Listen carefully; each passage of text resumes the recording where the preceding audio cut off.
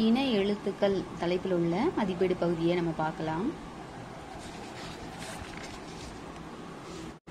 பக்க எண் பதினாறு.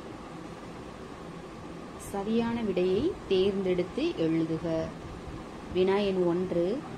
மெல் இனத்திற்கான இன எழுத்து இடம்பெறாத சொல் எது? மஞ்சள் வந்தான் கல்வி தம்பி. இப்போ மஞ்சளில் வந்து மெல்லினமும் அதற்கான இணை எழுத்தும் இருக்குது வந்தாண்மையும் மெல்லினமும் அதற்கான இணை எழுத்தும் இருக்குது இதுலேயும் மெல்லினமும் அதற்கான இணை எழுத்தும் இருக்குது இதில் மெல்லினம் எதுவுமே கிடையவே கிடையாது. அதான் இதுதான் வந்து வந்து சரியான பதில். தவறான சொல்லை வட்டமிடுக.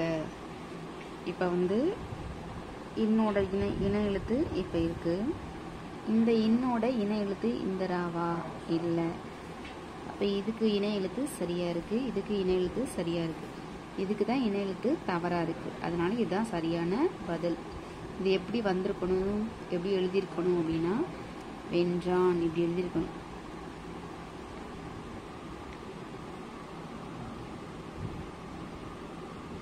இதோட இணை எழுத்து இந்த ரா அதனால தான் இது சரியான பதில். பின்வரும் சொற்களை திருத்தி எழுதுக. பிழையான சொல் திருத்தம் பிழையான சொல் கொடுத்துருக்காங்க. இங்கே நம்ம திருத்தி எழுதணும். தென்றல்.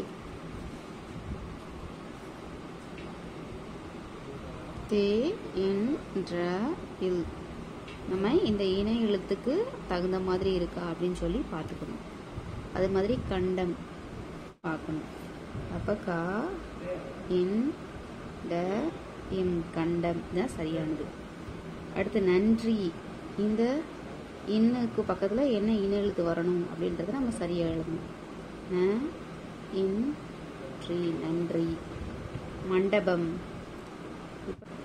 இன் ட ப மண்டபம். குருவினால் வந்து இன எழுத்து என்றால் என்ன அப்படின்னு சொல்லி கேட்டிருக்காங்க. இன எழுத்து என்றால் என்ன?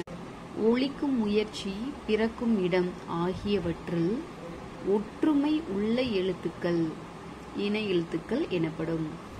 ஒழிக்கும் முயற்சி பிறக்கும் இடம். ஒழிக்கும் முயற்சினா நம்ம அந்த எழுத்தை வந்து சொல்லக்கூடிய சொல்றது. பிறக்கும் இடம். அது எந்த இடத்துல இருந்து பிறக்குது? ஆகியவற்றில் உள்ள ஒற்றுமை. இந்த ரெண்டுக்கும் உள்ள ஒற்றுமை தான் இணை எழுத்துக்கள் அப்படின்னு சொல்லி சொல்றாங்க.